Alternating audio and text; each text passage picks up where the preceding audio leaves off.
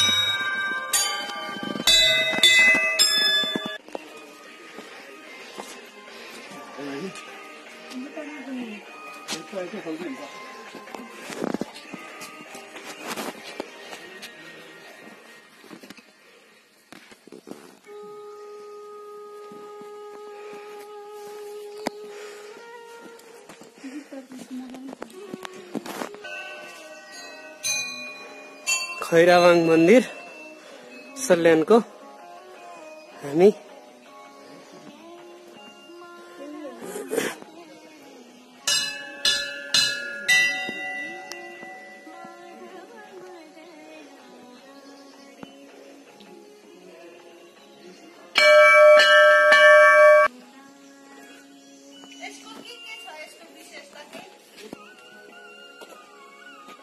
खुलेको छैन रे।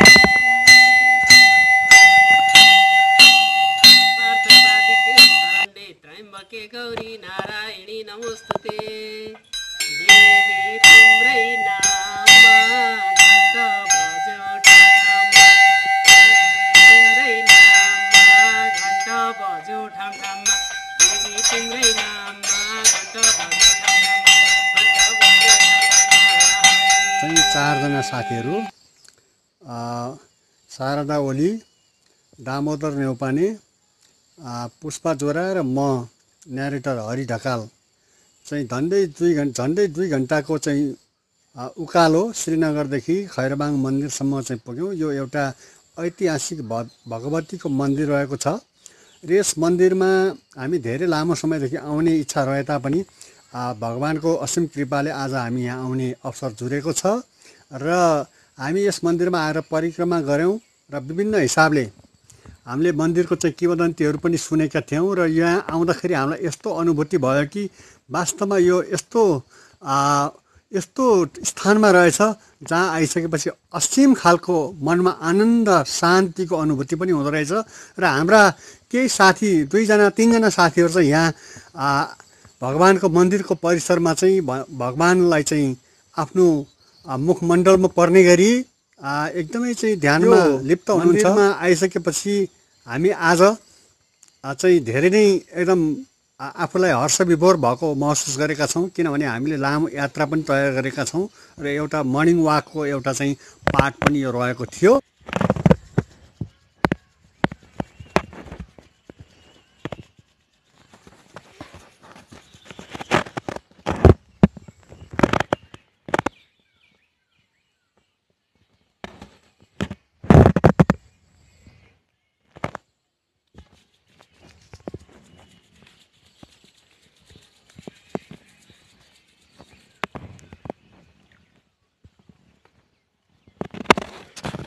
हाम्रो माझमा हरि सर हुनुहुन्छ। उहाँलाई कस्तो महसुस भयो? अलिकति यो खैराबाङको विषयमा अलिकति बोलिदिनुहोस् न। कस्तो महसुस भयो?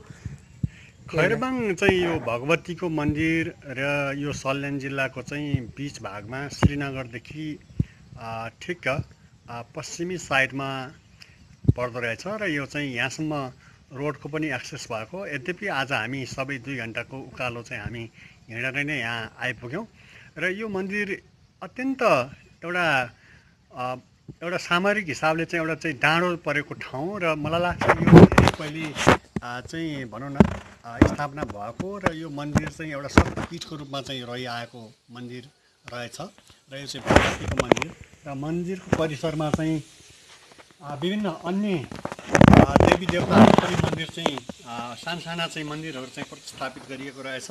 र जहाँ भगवान् शिवजीको मन्दिर त्यस्तै गरेर हनुमानको मन्दिर त्यस्तै अरू विभिन्न किसिमको चाहिँ तेत्तिस कोटी देवतालाई नै प्रतिनिधित्व गर्ने गरी चाहिँ यहाँ मन्दिरहरू पनि साना साना रहेको छन् र यहाँ विभिन्न प्रकारका चाहिँ एउटा आदरणीय महानुभावहरूले घन्टाहरू प्रदान गरेको र यो कम्पाउन्डलाई अत्यन्त व्यवस्थित गरिएको र यसको लागि चाहिँ विशेष महत्त्व दिएको पनि पायौँ हामीले र यो आउने क्रममा चाहिँ बिचमा अलिकति खड्किएको कुरा केही पानीको धाराहरू राखिदिएको भए अझ राम्रो हुनसक्थ्यो हिँडेर आउने कुरा हुन त अहिले अब गाडीको पनि एक्सेस भइसकेको सन्दर्भमा त्यो त्यति उपयुक्त नहोला।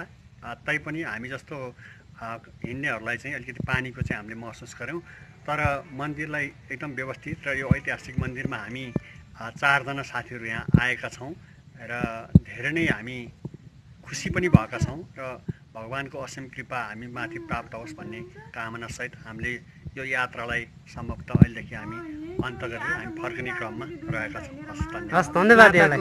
नमस्कार। पाइयो साह्रै खुसी छ यहाँ। हजुर साक्षात् लाइभ भगवती नै हुनुहुन्छ एक हिसाबले। कस्तो महसुस भयो हजुरलाई? एकदम आनन्द प्रफुल्ल महसुस भएको छ।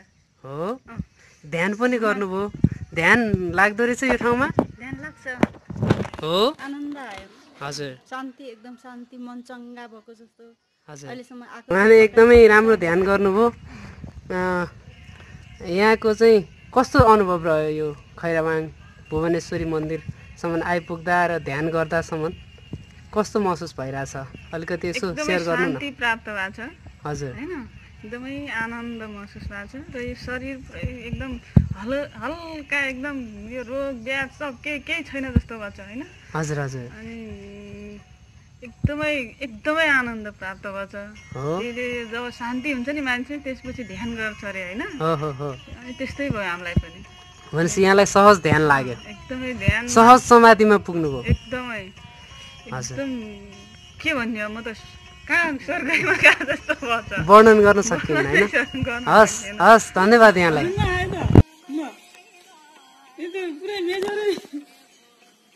जय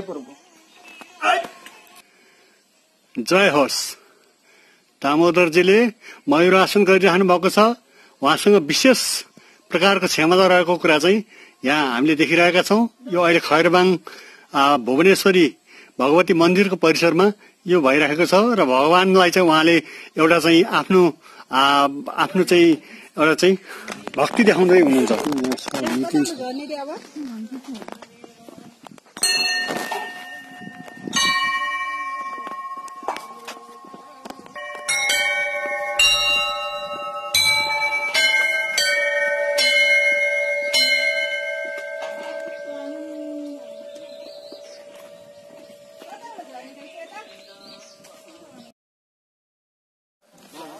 ओ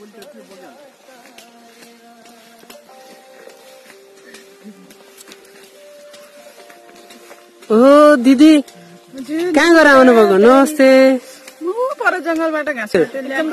ए हजुर। जान्छु है। एउटा एउटा गीत गाउनुहोस् न यो। दाङमा घर लायो दाइले खैरे मुसल छ कि? सोधन बिसरी गयौँ गात कुशल छ कि दाइको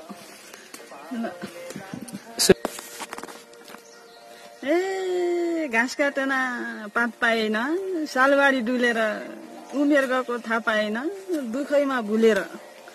हे भगवान् ल।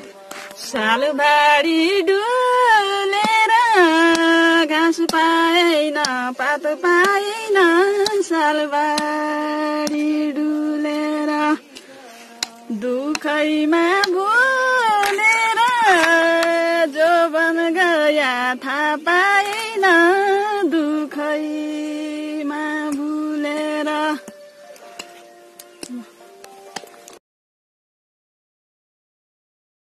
भाइको नाम के हो? ल गाउनुहोस् न त एउटा गीत गाउनुहोस् ल सुनौ। हेबरै नहुने सल्लाह कति छ कति केबारै नहुने सल्लाहको भएको एउटा जालले मल फुल भरेको छैन भएको एउटा जालले मल फुल भरेको छैन। यहाँ तिमीलाई पिरा तिमीलाई पिरा तिमीलाई लाई पिरा। लाई